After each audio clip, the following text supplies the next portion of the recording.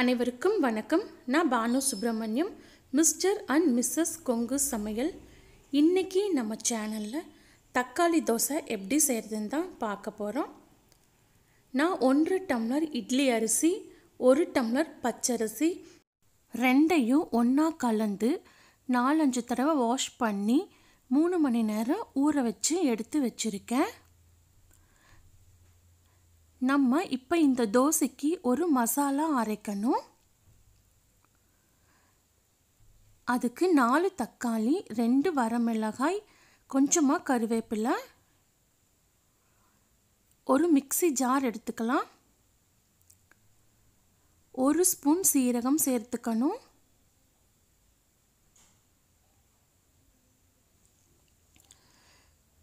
நம்ம வச்சிருக்கிற கருவேப்பிலையும் சேர்த்துக்கலாம். தக்காளியை சின்ன சின்னதாக நறுக்கி அதையும் சேர்த்துக்கலாம்.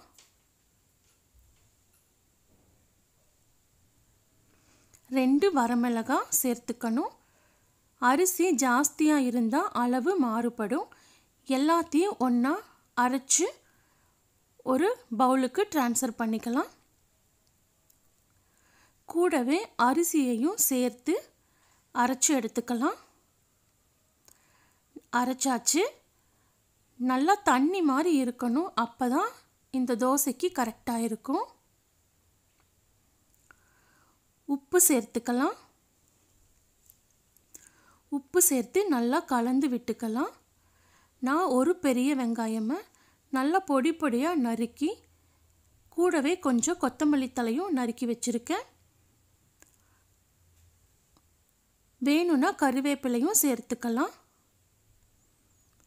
நம்ம நறுக்கி வச்சதை மாவில் கலந்து கொஞ்சமாக தண்ணி சேர்த்து மிக்ஸ் பண்ணி ஒரு ஒரு மணி நேரம் மூடி போட்டு வச்சிடணும். உடனே நம்ம ஊற்றக்கூடாது கண்டிப்பாக மாவு தண்ணி மாதிரி இருக்கணும். நான் அதுக்குள்ளே சட்னி ரெடி பண்ணிட்டேன். இந்த தோசைக்கு தேங்காய் சட்னி நல்ல காம்பினேஷனாக இருக்கும். மிளகா சட்னி மல்லி சட்னி இதுவும் நல்லாயிருக்கும் செஞ்சு பாருங்கள் ஓகே நம்ம ஒரு மணி நேரத்துக்கு அப்புறமா தோசையாக ஊற்றி எடுத்துக்கலாம். நல்லா ரோஸ்ட் மாற கிறிஸ்பியாக வரும். ரொம்ப கெட்டியாக மாவு இருக்கக்கூடாது. கண்டிப்பாக தண்ணி மாதிரி இருக்கணும். அப்போ தான் தோசை நம்மளுக்கு ரோஸ்ட் மாதிரி வரும். இந்த தோசைக்கு நல்லெண்ணெய் அல்லது தேங்காய் எண்ணெய் சேர்த்து சுட்டோம் அப்படின்னா ரொம்ப மனமாக டேஸ்ட்டாக இருக்கும். மெதுவாக நம்ம எல்லா சைடும் எடுத்து விட்டு அதுக்கப்புறமா திருப்பிக்கலாம். திருப்பி போட்டு ஒரு ரெண்டு நிமிஷம் லோ ஃப்ளேமில் வேக வைக்கணும். இந்த தோசை கொஞ்சம் வேகறதுக்கு லேட் ஆகும். சூப்பரான தக்காளி தோசை ரெடி ஆயிடுச்சு.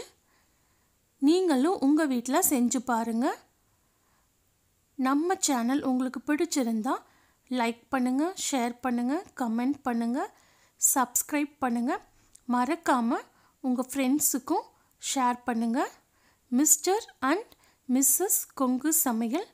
தேங்க்யூ